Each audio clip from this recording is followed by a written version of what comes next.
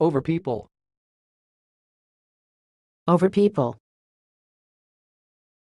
Over people. Thanks for watching. Please subscribe to our videos on YouTube.